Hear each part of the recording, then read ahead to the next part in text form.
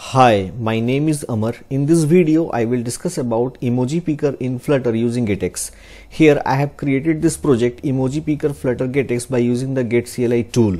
After creating the project in the pubspec.yaml file, I have taken this dependency Emoji Picker Flutter. Now, after taking this dependency, I have synchronized the project and in the home view file, I have written the code to design this particular page. What code I have written, just let me show you. Now in the home view, you can see it is extending the get view, which is taking the home controller type. In the scaffold, there is a app bar and in the app bar in the title, I have given emoji picker, which is visible here. In the body, I have taken a column widget. Now as a children of the column widget, I have taken expanded and as a child of the expanded widget, I have taken a container, right? Now after that, I have taken another container widget having the height as 70. This container widget will create this one, okay? Which will contain this uh, icon and this text field. As you can see in this container as a child I have taken a row widget and in the row widget I have taken this icon button which is creating this one okay? And after that in the expanded I have taken a padding widget and as a child of the padding widget I have taken this particular text field okay? Now what I want is that here I want to display the emoji picker. And to display the emoji picker what I will do here I will use this code. As you can see I have taken a off stage widget and in the offset stage I have specified false. This means whatever child we have specified in the offset off stage widget that will be visible. If it is true that child will not be visible. Now as a child of the off stage I have taken a sized box having the height as 250 and as a child of the sized box I have taken this emoji picker. Now this emoji picker widget is coming from the plugin which we have taken in the pubspec.yaml file. This, uh, this emoji picker has these properties as you can see on emoji selected, on backspace pressed and in the config these properties has been specified column 7 vertical spacing 0 now what are the meaning of these properties you can find from this particular site the link you can find in the description of my video. As you can see here in the columns means the number of emojis per row okay? Vertical spacing means vertical spacing between the emojis. Horizontal spacing means horizontal spacing between the emojis okay?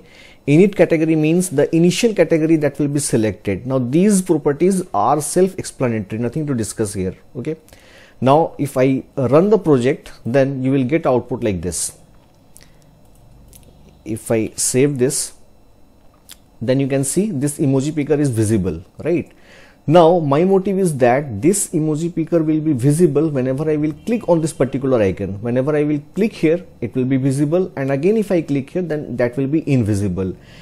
And to do that in the home controller I will declare a variable named as is emoji visible having the initial value as false and I have made it reactive with the help of dot .obs now in the home view I will move to that icon button which is available here. Now whenever this icon button will be pressed at that time I will write the code controller dot is emoji visible dot value equals to not controller dot is emoji visible dot value let me save this. And here I will do one more thing I will wrap this off stage with OBX widget. Let me wrap it with OBX and in the off stage I will write controller dot is emoji visible dot value. Now the initial value of is emoji visible is false. To hide it I will have to make it true so here I will use not. Now let me do a hot reload okay. Now whenever I will click on this icon at that time you can see that the emoji uh, picker is visible. And whenever I will click it, click it again then it will be invisible. Fine? Click it it will be visible. Now if I go to this text box then you can see that this emoji picker and this keyboard is visible simultaneously. What I want is that when this emoji picker is visible at that time this keyboard should be hidden. To do that here in the home controller I will create the object of focus node. Focus node focus node equals to focus node okay? And I will assign this focus node to the text field which I have created. This text field is there. And here I will write focus node focus node controller dot focus node okay? Now whenever this uh, uh, icon this icon button will be clicked at that time we need to remove the focus from this particular text field. And to do that here I will write the code controller dot focus node dot unfocus fine?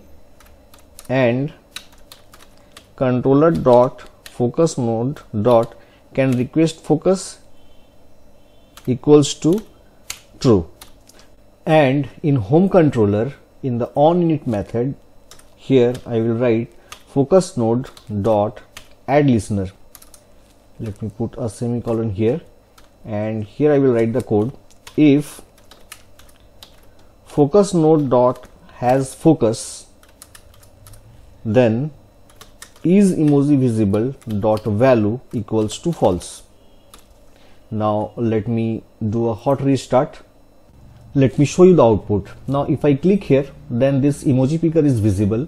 Now if I click on this text box then you can see that emoji picker is hidden and the keyboard is visible. Now if I click here again then keyboard is hidden and this emoji picker is visible right now if I click on this emoji then what I want is that it should be visible then in this particular text box. To do that here I will create the object of text editing controller. Text editing controller equals to text editing controller okay? And in the on close method I will dispose it fine now in the home view I will associate that text editing controller here controller controller dot text editing controller now whenever this emoji will be selected at that time it should be visible in this text box. To do that I will go to that emoji picker widget. Here this has the method property on emoji selected. Here I need to write the code. Here I will write controller dot text editing controller dot text equals to this plus emoji. This emoji is this one. Emoji dot emoji. Now let me save this now if I select any emoji here then you can see it is visible in this particular text box. Okay. Now if I click on this back button then it will exit from the app. To prevent that to prevent that I will wrap this column with a widget will pop scope. Okay. And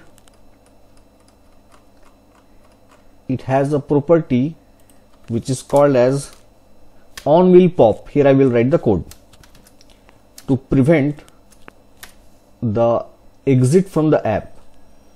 Here I will write if controller dot is emoji visible dot value. If it is true if it is true then controller dot is emoji visible dot value equals to false. Else if the emoji picker is not visible then it should exit. And to exit here I will write navigator sorry navigator dot pop of context. And here I will return return future dot value false now whenever this back button will be clicked at that time it will not exit from the app it will just minimize the uh, it will just minimize this emoji picker right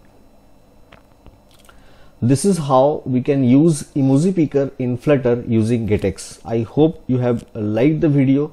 If you have liked the video, please subscribe to my channel. Thank you so much for watching.